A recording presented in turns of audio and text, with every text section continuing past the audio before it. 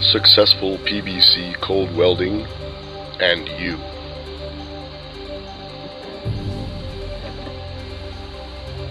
These are the tools used for successful PVC cold welding. To achieve a nearly invisible seam, a close cut is required. This can be done using the double cut technique.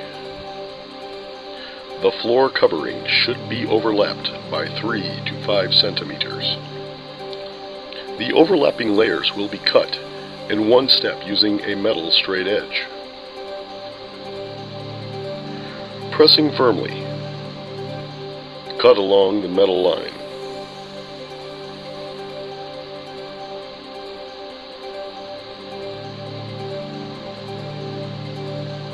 Careful, don't press too hard or you may lose control of the knife.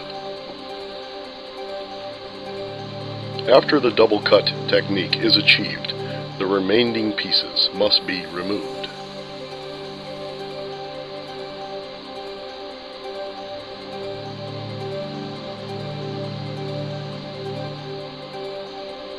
And the floor layers will be folded back. The seam area has to be affixed to the floor by using double-sided adhesive tape. Do your best to center the tape underneath.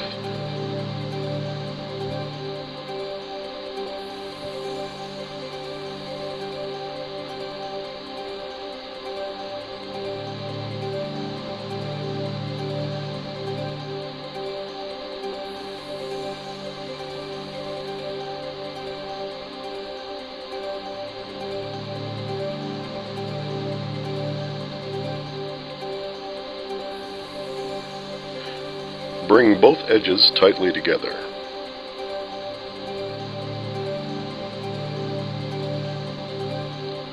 Press the floor firmly to the double-sided tape to avoid differences in height between the two layers. A seam roller is very helpful. The seam area must be clean and dry for the adhesive to function. Masking tape that is resistant to the cold welding liquid has to be centered evenly over the closely cut seam. It is absolutely vital to avoid damage to the outer floor finish coating. Apply the masking tape tightly by using a seam roller. This is to prevent the liquid from penetrating underneath the tape. Easily cut the masking tape with a rolling knife in the seam area.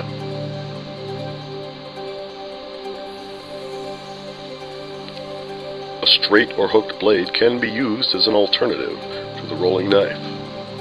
Careful, don't damage the edges of the floor while cutting the tape.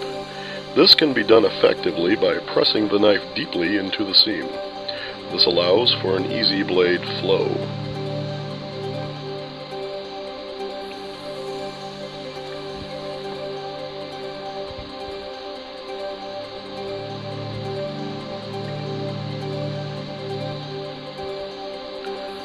This is our PVC cold welding liquid type A.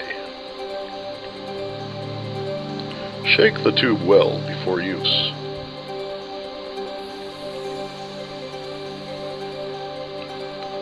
For the close cut seams which usually come with newly installed flooring, cold welding liquid type A with a firmly mounted needle in the middle should be used. Clean the nozzle and needle before use with a clean cloth.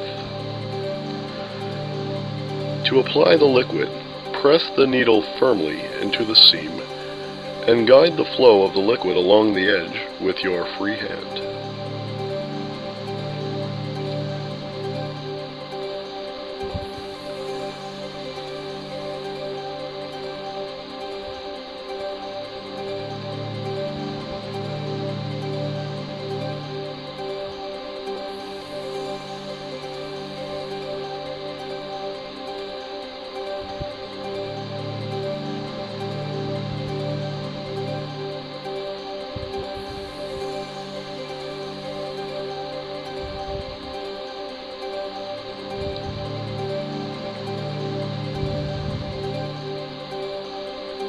The amount of cold welding liquid used is ideal if a line of approximately 5 millimeters on the masking tape is visible. Make sure no liquid drips or flows onto the uncovered area of the floor, as this will damage the floor.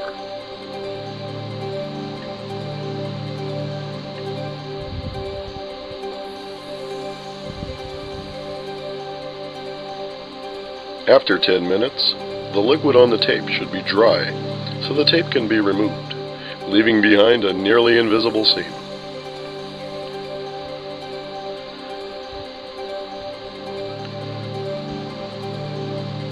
The quality of this seam has been proven by extensive testing throughout several countries in the world. You can trust PVC cold welding.